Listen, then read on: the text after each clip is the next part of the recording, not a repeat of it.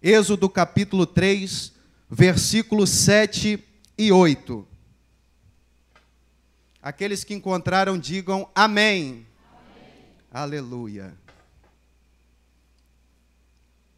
E disse o Senhor: Tenho visto atentamente a aflição do meu povo, que está no Egito, e tenho ouvido o seu clamor por causa dos seus exatores, porque conheci as suas dores. Portanto, desci para livrá-lo da mão dos egípcios e para fazê-lo subir daquela terra a uma terra boa e larga, a uma terra que mana leite e mel. Amém. Só até aqui, em nome de Jesus.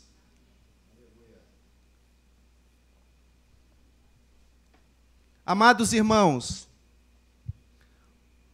nós estamos tratando de um texto que foi escrito há mais de três mil anos atrás. O Êxodo, ele tem como tema central acerca da redenção da nação de Israel que foi oprimida no Egito por 430 anos. E nessa noite, antes de entrar no texto que o Espírito ele ministrou ao meu coração, eu gostaria de retroceder alguns períodos antes desse acontecimento, todos nós sabemos que Deus, ele estabeleceu o plano de redenção para a humanidade. Isso está registrado em Gênesis 3:15. Deus ele vai dar início dessa promessa de redenção quando ele vai chamar o nosso patriarca Abraão em Ur dos Caldeus. É verdade que essa promessa de redenção, ela vai passar do nosso patriarca Abraão para Isaac, de Isaac a Jacó, e nós sabemos e conhecemos que Jacó ele dá origem a doze filhos, que são as doze tribos de Israel. Sabemos que o direito e o privilégio da primogenitura e da continuidade da bênção estava sobre os ombros de Rubem. Sabemos que Rubem ele vai pecar e ele vai perder esse direito o outro filho da segunda mulher de Abraão, por nome Raquel, José, agora vai receber essa bênção, vai receber essa promessa. Todos nós conhecemos a história do menino José, aquele que foi vendido como escravo, mas se ascendeu como segundo de Faraó no Egito. Nós sabemos que no Egito é, houve uma grande fome sobre toda a terra, e isso havia já sido interpretada pelo nosso irmão José, quando ele estava na ocasião preso dentro do cárcere. Ali ele tem as interpretações dos sete anos de fartura que haver na terra e os sete anos de escassez que se dariam por continuidade. José então interpreta esse sonho. E de fato esse sonho ele vai se cumprir. Sete anos de abundância, de fartura sucedem e nesse tempo, José lhe armazena para si todo o trigo como areia do mar. E a Bíblia vai dizer que a fome assolava toda a terra, e o Egito, que era a potência da época mundialmente falando, estava com todo o poder. José no Egito, ele vai fazer história. José no Egito, ele faz com que toda renda per capita seja muito bem administrada o seu nome ganha popularidade, a vida de José é notória diante de todos os egípcios. E nós sabemos que José ele viveu 110 anos e ele morre. Mas antes de ele morrer, os seus irmãos, eles, por conta da fome que assolava toda a terra, e chegou até Canaã, onde os descendentes de José estavam.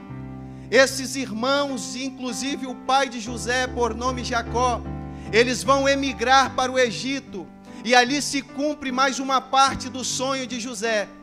E os, e os hebreus agora estão no Egito para cumprimento daquilo que Deus falou com Abraão. Nós sabemos que após a morte de José, os descendentes de José estão agora estabelecidos numa terra que foi dada por parte de Faraó em consideração a José uma terra por nome Gozen. E Gozen, para quem conhece Bíblia, é uma terra fértil.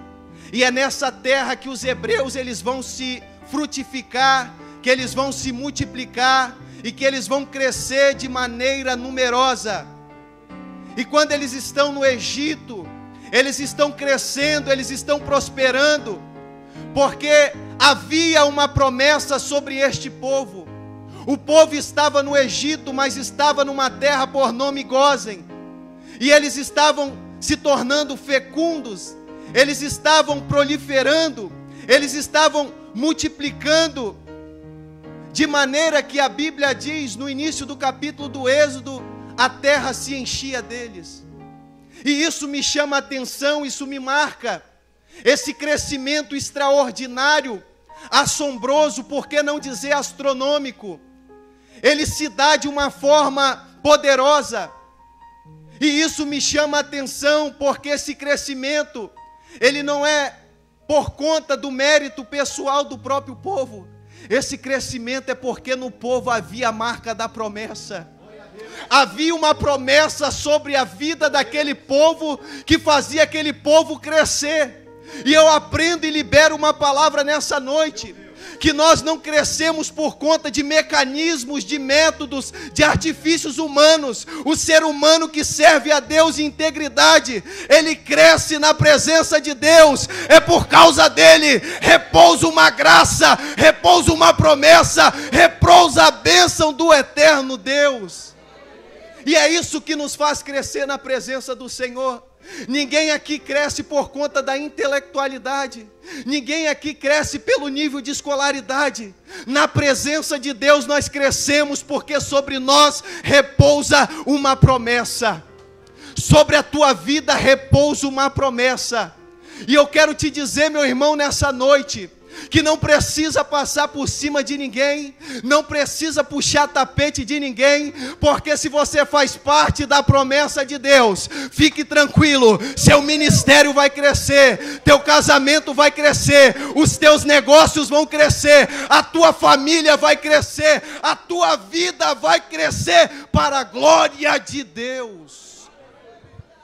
Para a glória de Deus. Sua vida vai crescer, fica tranquilo. O crescimento ele vem de Deus.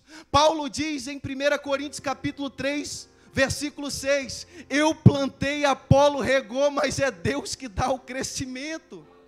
Aleluia! Glória a Deus! Então fica tranquilo. É interessante, amados, que eles são introduzidos em 70 almas, mas em Êxodo 12 eles saem em aproximadamente quase 2 milhões de pessoas. Eles ingressam no Egito pequeno, mas sai grandioso. Sabe o que eu aprendo com isso? Não menospreze os pequenos começos. Não menospreze os pequenos começos. Começa pequeno, mas vai germinando, vai florescendo e daqui a pouco vai brotando os frutos. Você está entendendo? Você está querendo abandonar aquele negócio que você abriu pequeno, mas Deus está dizendo: fica tranquilo, porque vai crescer. Você está querendo jogar por alto a graduação que você fez, porque parece que não dá nada. Deus está dizendo: fica tranquilo, porque eu farei crescer. Talvez você sabe que foi vocacionado para alguma obra na presença de Deus. Arde no teu coração chamado. E parece que está pequeno. Quase ninguém percebe. Mas Deus está dizendo para alguém nessa noite: eu vou fazer crescer. Eu vou fazer crescer. Eu vou fazer crescer. Eu vou fazer crescer.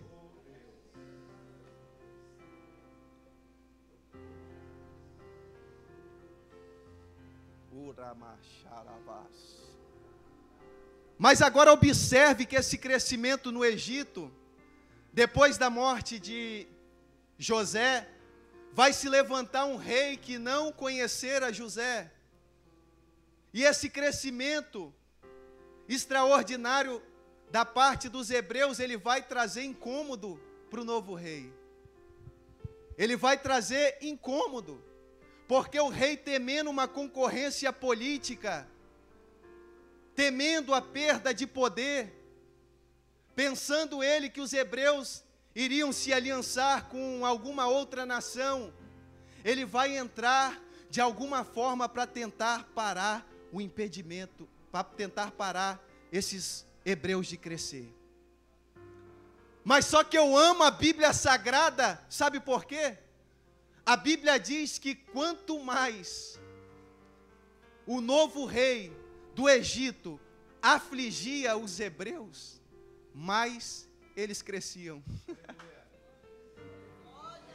Os espirituais me entenderam aqui. Eu vou repetir. Quanto mais esses hebreus eram afligidos, mais eles cresciam. Você está entendendo agora porque desde o começo do ano tanto processo você tem passado? Tantas lutas, tantas provações, tantas aflições, tantas dores, é porque esse é o tempo que Deus está te fazendo crescer e ninguém pode parar ou impedir o seu crescimento na presença do Senhor, porque quem te chamou é fiel. Já tentaram de tudo quanto é forma parar o teu crescimento, mas não vai conseguir, porque o segredo não está no teu mérito, está na promessa. Está na promessa. Ninguém pode parar essa igreja, porque sobre essa igreja repousa uma promessa. Ninguém pode parar os obreiros desta casa, porque sobre a vida dos obreiros há uma promessa. Ninguém pode parar os membros dessa casa, porque os membros dessa casa têm uma promessa. E nesse tempo de aflição, é nesse tempo de crise, é nesse tempo de perseguição, é nesse tempo de corrupção que Deus vai te fazer crescer. Deus vai te fazer crescer. Deus vai te fazer crescer. Aleluias.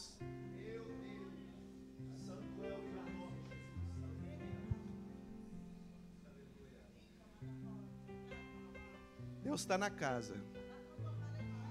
Urabacalachúria. Arrobeda calachúria. Ando comenácia. Halubido comeda calachúria. Urabacalacheue.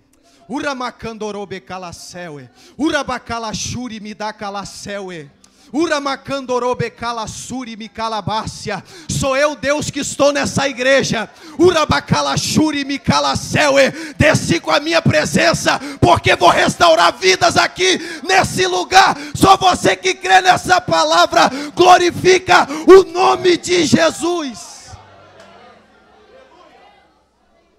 Urabai, choramas. Urabacalachúria. Trotatando vidas aqui. A minha presença está aqui. Sou Deus. Estou no controle. Estou no comando de tudo. Faço. Realizo grandes obras. E não temas, porque ninguém vai impedir você de crescer. Porque sou Deus que reafirmo a minha aliança com vocês nessa noite. Não temas, não te apavores, Sou Deus que te sustento nessa peleja. Estou convosco. Realizo algo extraordinário, algo grandioso sobre a tua vida. Alá o recebe nácia.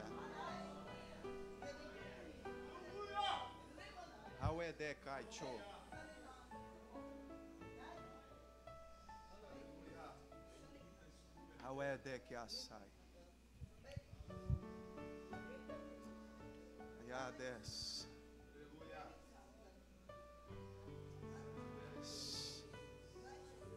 Aleluia. Irmãos, e Faraó vai tentar de todas as formas parar o crescimento dos hebreus. Ele não consegue intervir na primeira vez, e agora ele vai planejar de forma severa, de forma punitiva, tentar matar os hebreus. Mas essa matança novamente ela é frustrada. Faraó, por estratégia, ele pede que as, as parteiras hebreias, quando as, as mulheres hebreias viessem a conceber, as parteiras viessem matar os meninos. Mas as parteiras, elas não cumpriram a ordem de Faraó, porque elas temiam a Deus. Provérbios capítulo 1, versículo 7 diz que o temor do Senhor é instrução de sabedoria. Os loucos a desprezam. A minha geração tem perdido o temor de Deus. A minha geração tem negligenciado, tem sido insensível com a presença do Senhor. Mas eu creio que eu estou pregando para pessoas aqui que ainda tem no teu coração o temor a Deus que ainda temem o Senhor e obedecem tudo aquilo que Ele ordena que nós venhamos a fazer e executar. E essas mulheres então impedem esse plano maligno de Faraó. Faraó agora vai pedir que lancem todos os meninos no Nilo. E é nesse tempo que vai nascer Moisés. Nós sabemos que a vida de Moisés ela é dividida em três períodos, uma vez que Moisés viveu 120 anos. O primeiro período que Moisés viveu foi na corte egípcia, e na corte egípcia Moisés ele adquire toda educação, ele adquire todo conhecimento, e ele vive um período de 40 anos. O segundo período que Moisés vai viver de 40 anos foi quando, por conta de algumas questões, ele vai fugir do Egito. E ele vai então para a terra de Midian, um lugar deserto. E ali vai se cumprir mais um período de 40 anos na vida de Moisés. Ali Moisés vai se casar com uma mulher por nome Zípora, vai ter filhos, um Gerson e o outro Eliezer. E é nessa cena, é nesse cenário que Moisés vai adquirir uma experiência com Deus. Em Êxodo capítulo 3, a Bíblia diz que Moisés, certo dia, ele estava apacentando o rebanho de seu sogro num lugar deserto. Perceba que a narrativa, ela vem nos trazendo que para Moisés era mais um dia. Ele estava exercendo a atividade pastoril comum que era dele naquele tempo. Mas aquele dia não seria mais um dia, seria o dia. Eu vou repetir para ver se você entendeu. Não era mais um dia que Moisés estava apacentando o rebanho do seu sogro, era o dia que ia marcar a vida de Moisés. Nós precisamos vir para os cultos e viver as nossas vidas com expectativas que de fato Deus, Ele é o Deus que faz coisas grandes, que faz coisas extraordinárias, que faz coisas que nos marcam, que nos move e que nos transforma. Eu tenho uma palavra para a igreja evangélica vida nessa noite. Talvez você entrou aqui achando que vai ser mais só um dia, mas Deus está dizendo: é o dia que eu escolhi para marcar a tua vida. É o dia que eu escolhi para marcar a tua família. É o dia que eu escolhi para marcar a tua vida ministerial. É a vida que eu escolhi para marcar os seus familiares. É o dia que eu escolhi para marcar a tua vida espiritual.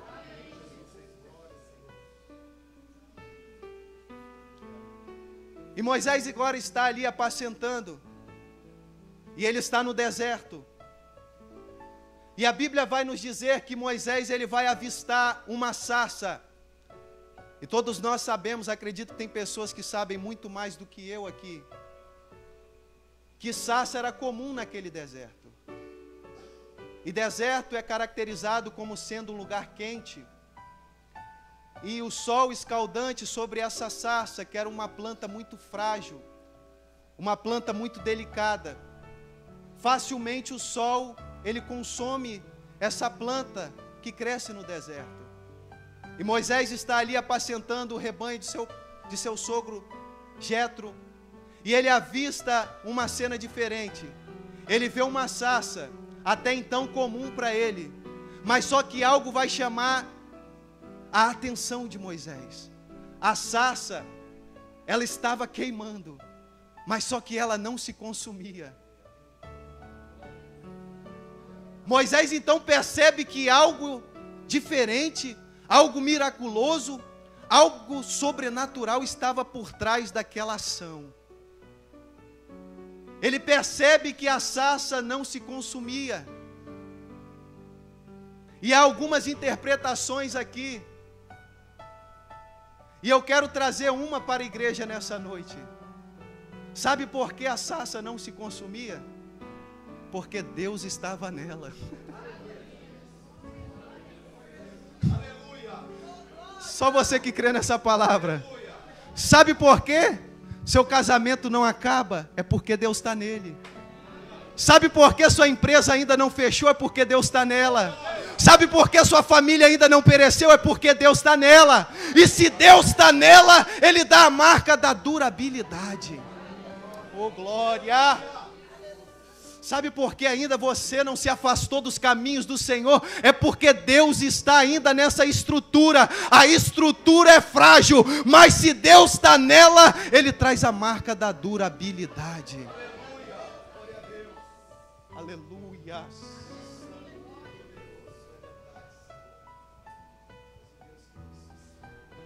E mais curioso ainda é que do meio dessa sarça vai sair uma voz. E não é qualquer voz. É o Deus que se apresenta a Moisés. Moisés, Moisés. Eu sou o Deus de Abraão, o Deus de Isaac, o Deus de Jacó. Moisés então ele fica constrangido com a presença do Senhor. E antes de ele ter esse relacionamento com Deus, o próprio Deus, porque não é um anjo, analisa o texto, é o anjo do Senhor. É o próprio Deus que está falando com Moisés no meio daquela sarça. E Moisés, como nós sabemos que ele cresceu dentro da cultura egípcia, que era uma cultura idólatra, pagã, que adorava a falsos deuses. Deus queria dar ensinamentos preciosos a Moisés, porque antes de Moisés se aproximar dele, Deus vai falar: Moisés, tira a primeira sandália. Tira a primeira sandália. Moisés, porque eu não sou qualquer Deus, eu sou Deus. Eu sou o Deus soberano, eu sou o Deus eterno, eu sou o Deus criador dos céus e da terra e que fez tudo quanto nela existe. Então, primeiro, antes de você acessar minha presença, você tira a sandália. Tirar a sandália nos esvaziar de tudo aquilo que nos impede de acessar a presença. Tirar a sandália é nos humilharmos diante da presença do Senhor, é nos colocarmos em submissão ao Senhor e dizer: Eis-me aqui, eis-me aqui o teu servo para fazer a tua vontade. Tirar a sandália, fala-nos de renúncia. Tirar a sandália, fala de dedicação a Deus, fala de submissão a Deus, fala de fazer a vontade de Deus. E Deus agora vai continuar a fala dizendo, e eu entro com a temática da noite: o Deus que vê, o Deus que ouve, o Deus que conhece e age, está aqui nessa noite. Você observa que depois dessa experiência extraordinária, no versículo 7, Deus vai dizer assim: E disse o Senhor: tenho visto atentamente. Eu quero te apresentar nessa noite, em primeiro lugar, o Deus que vê todas as coisas. Observe o texto: tenho visto. Foram anos de sofrimento, anos de jugo pesado por parte dos egípcios. Mas Deus parece que ouviu o clamor do povo e se manifesta a Moisés e diz: Tenho visto, porque Deus, Ele é o Deus que vê todas as coisas. Porque em Hebreus capítulo 4, versículo 13, ele diz: Porque não há criatura alguma encoberta diante dele, antes todas as coisas estão nuas e patentes aos olhos daquele com quem temos de tratar. Mateus capítulo 10, versículo 30 diz que até mesmo os cabelos das vossas cabeças estão todos contados. Em Apocalipse capítulo 1, versículo 13, de forma simbólica ele aparece como aquele que tem chama, que tem os olhos como chama de fogo, que representa aquele que enxerga todas as coisas. Eu quero te dizer nessa noite, meu irmão, que o Deus que vê todas as coisas, ele está aqui nessa igreja. Deus tem visto a sua aflição, Deus tem visto a sua dor, Deus tem visto o seu sofrimento e Deus tem contemplado a tua vida. Você não está passando despercebido. Tem pessoas aqui que estão tá se sentindo sozinha, pensando que Deus se esqueceu. Mas é para você essa palavra. Deus tem contemplado sua vida. Deus tem visto a sua vida. Ele tem enxergado até mesmo os mínimos detalhes. O Deus que vê está aqui nessa noite. E ele continua dizendo: E tenho ouvido o seu clamor. Ele é o Deus que ouve. Repete comigo, por favor. O Deus que ouve. Em Isaías capítulo 59, versículo 1, está escrito: Eis que a mão do Senhor não está encolhida para que não possa salvar, nem os teus ouvidos agravados para que não possa ouvir. Jeremias capítulo 33, versículo 3, escrito está: Clama a mim e responder-te-ei, e anunciar-te-ei coisas grandes e firmes que não sabe. Talvez você está aqui limitado pela circunstância, não tem mais força para clamar, não tem mais força para orar, mas hoje o Senhor te enche de virtude para dizer: clama porque os meus ouvidos estão atentos para ouvir a tua oração, o teu clamor e a tua adoração.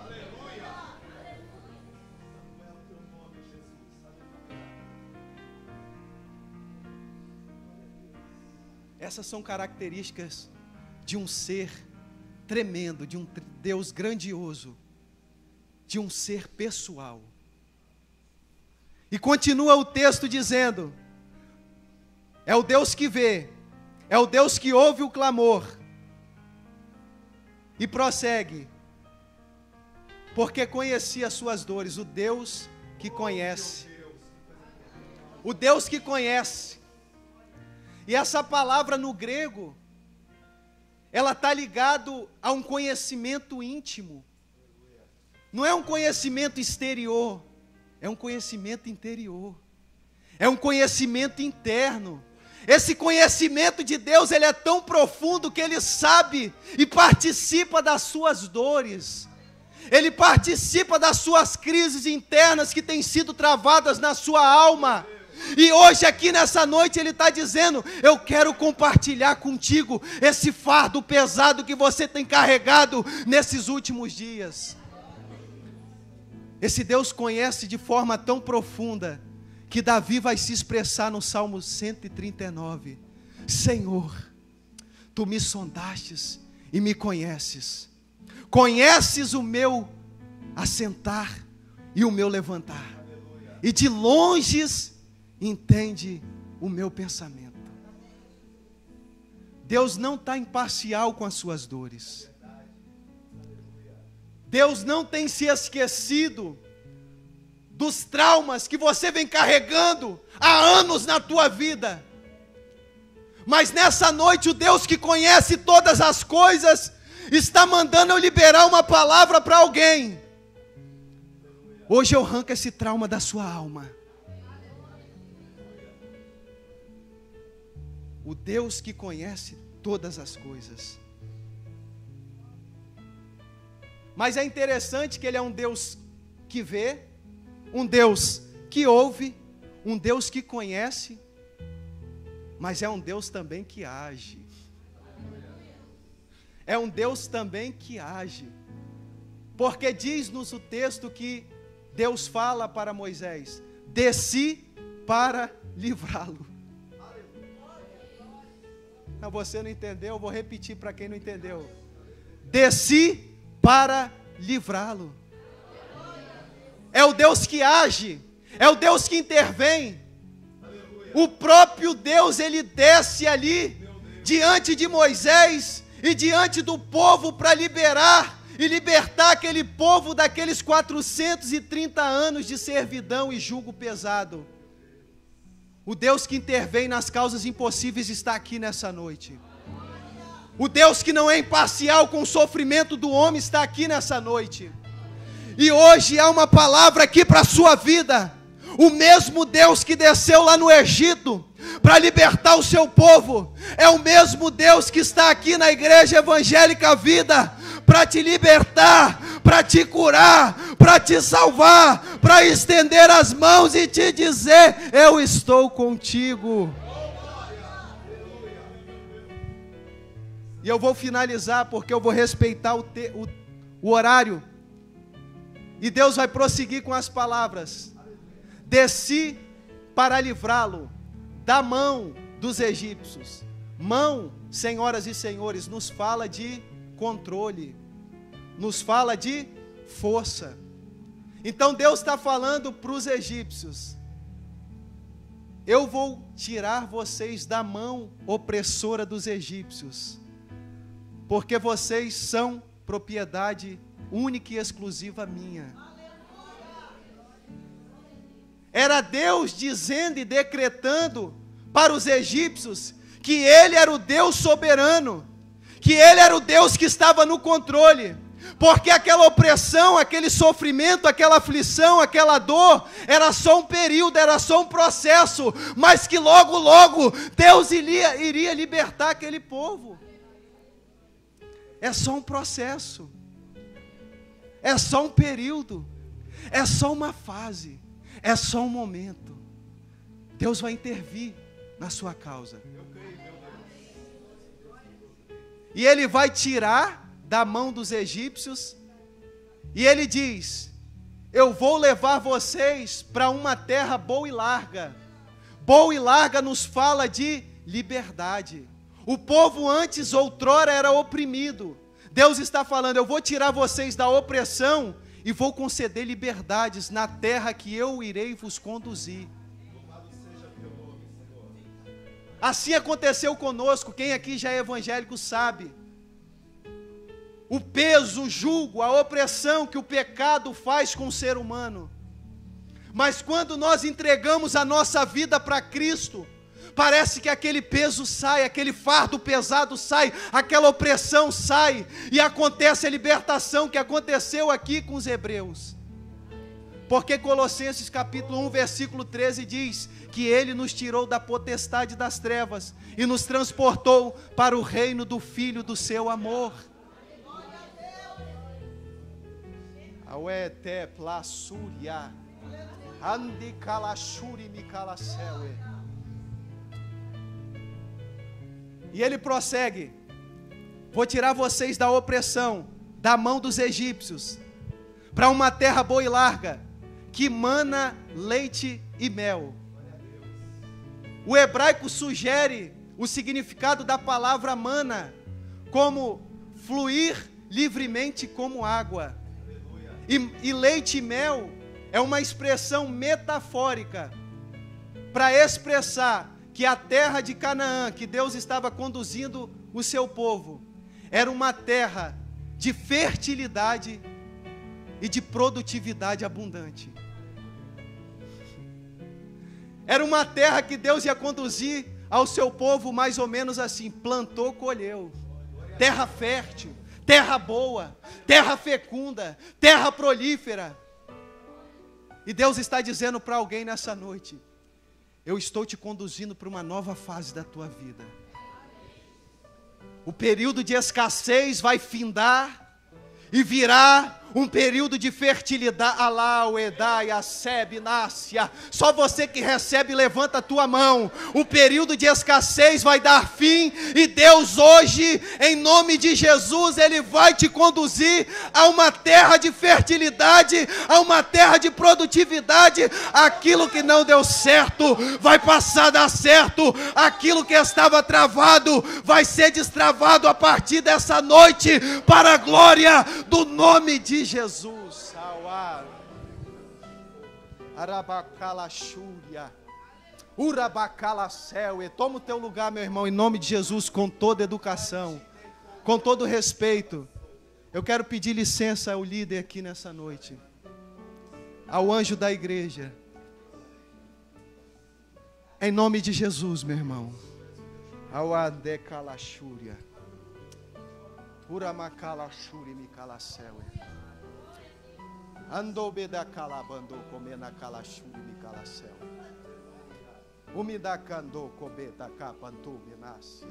Aleluia.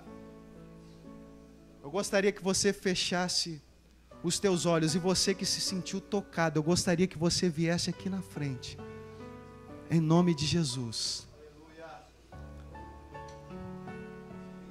Em nome de Jesus.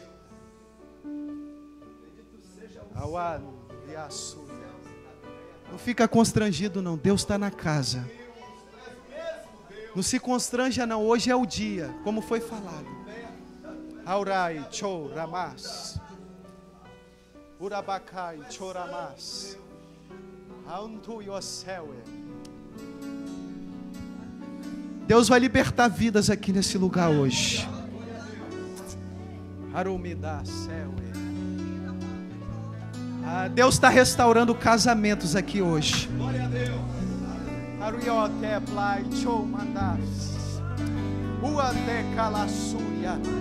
Deus está renovando vidas espirituais aqui hoje. Recebe essa unção hoje. Urabacalaxúria. Urabacalaceue. Deus hoje está desenterrando talentos aqui na Igreja Evangélica Vida. Tu vai voltar a louvar. Vai cantar o hino da vitória tu vai voltar a profetizar, tu vai voltar a pregar, tu vai voltar a cantar, tu vai voltar a se alegrar na presença do Senhor.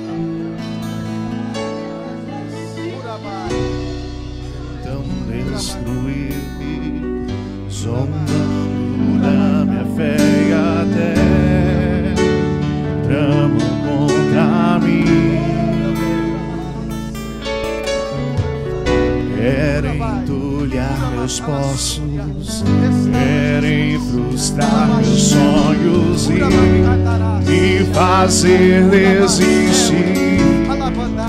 Mas quem vai apagar o selo que há em mim? A marca da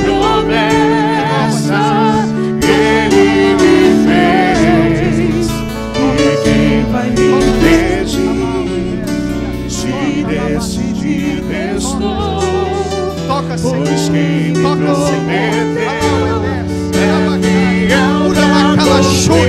Urabacalaceue. Recebe poder nessa noite. Recebe virtude nessa noite. Deus nunca falhará. Eu sei que chega. Vai recebendo o toque do Espírito. Vai recebendo o toque do Espírito. Vai recebendo, vai recebendo, vai sendo ministrado pelo Espírito Santo. Aquilo que não deu certo, aquilo que não deu certo na tua vida, vai mudar hoje. É uma nova fase que Deus tem preparado para ti. O Egito não te pertence mais. Deus ouviu o seu clamor. É a terra da promessa que Ele está te conduzindo. As dores, os sofrimentos, os intempéries da vida ficam para trás e Deus marca uma nova fase na tua vida.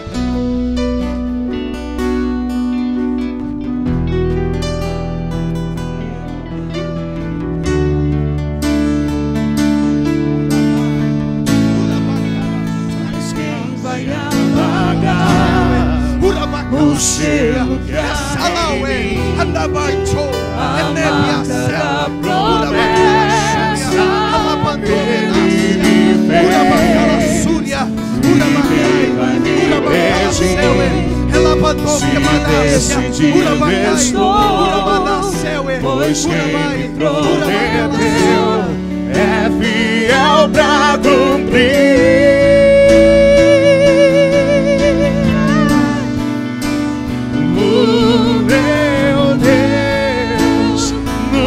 falhará. Eu sei.